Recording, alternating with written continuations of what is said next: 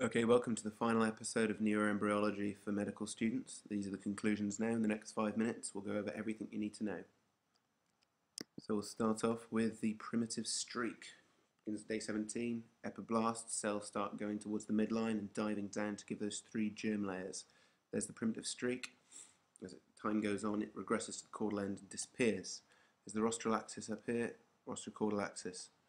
Notochord begins with the primitive pit there, dives down and moves towards the cephalic end, and the notochord is that signaling center that causes the epiblast to start differentiating into the neural plate and begins neurulation.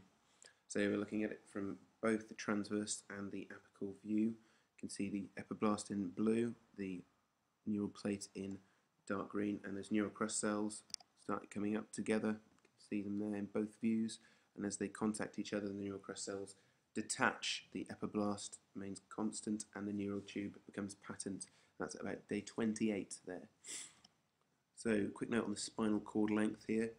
Spinal cord itself ends at that level, the conus medullus, and below that is a dural sac, and inside there are individual nerves. The vertebral columns grow obviously down to the coccyx, and the reason this occurs is the rate and growth of the vertebral columns is a lot faster than that of the nerves. Onto pathology, what can go wrong? You can got the neural tube defects, you've got primitive streak defects and notochordal defects. Neural tube defects, you can have anencephaly, which is a problem with the cephalic neuropore closure. There's no cranial development, not compatible with life. Spina bifida larger range. You've got occulta, which is the hidden version, where you have problems with the vertebral bodies, the vertebral arches closing around the spinal cord, and aperta, which is the apparent type, which goes from having cysts of the meninges up to having nerves themselves exposed. Really reinforcing that 400 micrograms of folic acid every day should be given to every pregnant woman. It can reduce the incidence of those spinal tube defects by to 70%. Primitive streak defects give rise to sacrococcygeal teratomas. They've got all, all the germ layers there, and those teratomas found in the pelvis can be just as big or even bigger than the fetuses themselves. Notochordal defects, the most rare of these pathologies, give rise to chordomas, which are either found at the cephalic or the caudal end of the spine. Note on the neural crest cells, they found here between the epiblast and the neural plate on either side. They move up towards to contact each other.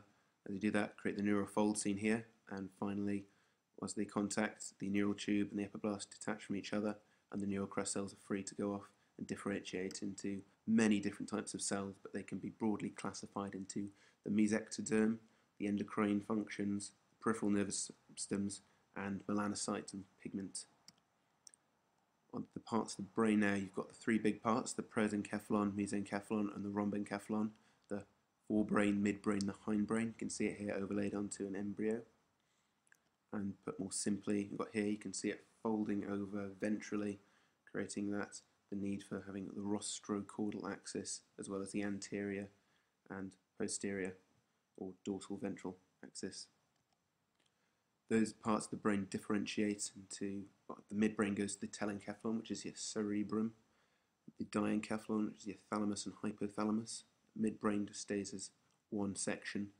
The hindbrain develops into the metencephalon, which gives you the cerebellum and your pons, and the myelencephalon, which is the medulla oblongata.